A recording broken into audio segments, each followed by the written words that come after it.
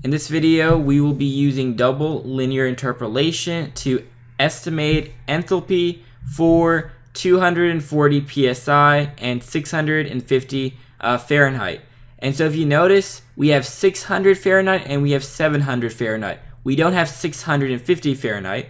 Likewise, we know 220 psi and 250 psi. We don't know 240 psi. So we will have to use double linear interpolation. In order to use double linear interpolation, essentially we're using uh, linear interpolation but three times. And I'll show you what I mean. So one piece of information that we could do is 650 uh, Fahrenheit, comma, for 220 psi. We don't know 650 psi, but we do know 220 psi. And so we can do a simple linear interpolation. And so let's do that. So we will be using this formula. So fx1. So in our case, this would be 652. 652 plus. So fx2 now would be uh, 681, you know, 700 degrees. So 681 minus fx1, which was 652 divided by x2 minus x1. So divided by 700 minus 600 times, so we have x, x minus x1.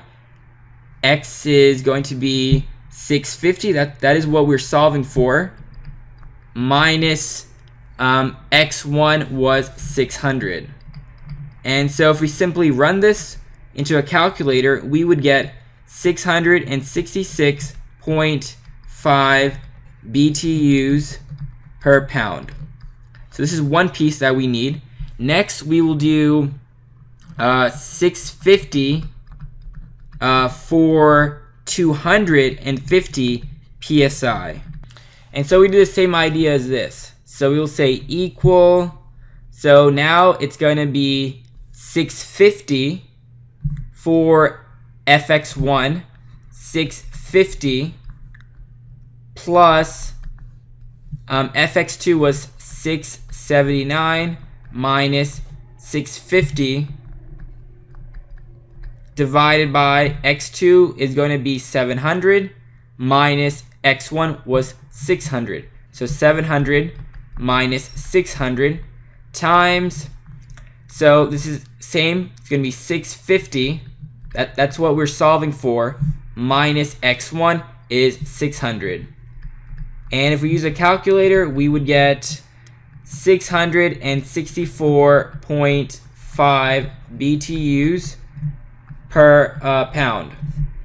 And now we have one more to finally get the answer. And so this is going to be 650 comma for 240 psi. This is what we want. The information that we will use in order to solve this problem will be this and this. And let's get started. So it's going to be, so fx1 will correspond to 666.5 BTUs per pound, 666.5 plus fx2 would be this, 664.5 minus fx1, same, 666.5 divided by 250 minus 220. X2 is 250. And X1 was 220 psi times, so we want to solve for X, which was 240 psi, minus um, X1 was 220 psi, and if you run this into a calculator, we would get 665.2 BTUs per pound.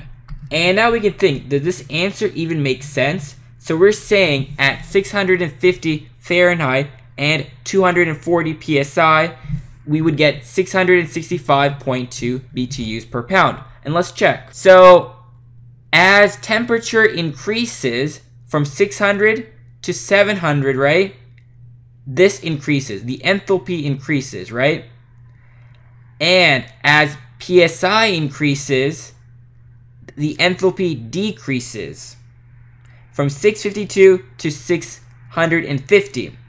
And so what we got was uh, 650 Fahrenheit, somewhere in between, and 240 psi.